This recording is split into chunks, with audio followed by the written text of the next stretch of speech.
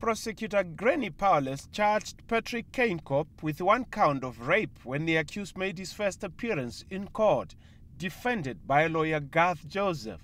Powerless said the state will object to the granting of bail because of a statement the 13 year old complainant made to the police and the seriousness of the charge of rape.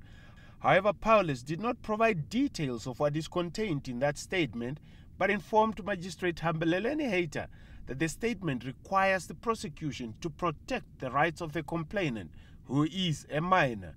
Garth Joseph, defending the accused teacher, informed court that he will bring a formal bail application for Keinkop during the course of this week. Magistrate Hayter postponed the case to the 11th of December this year for further investigations. Meanwhile, mitigation and aggravation of sentence in the case of an Omaruru man who was convicted last month of a December 2010 murder will start on Thursday. Judge Nate Ndauendapo postponed the sentencing proceedings to Thursday after prosecutor Constance Moyo, standing in for Ingrid Hasselman, and convict Wenzel Governor's lawyer Christian Nambahu agreed to that date.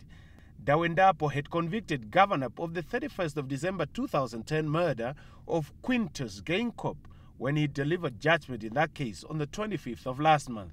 In that judgment, Judge Ndauendapo rejected Governor's explanation that he stabbed the deceased in self defense after he charged at him with a broken bottle.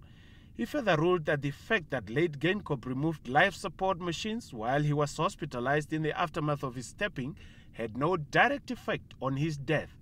Geinkop died of a blood infection six days after he was stabbed nine times with a knife.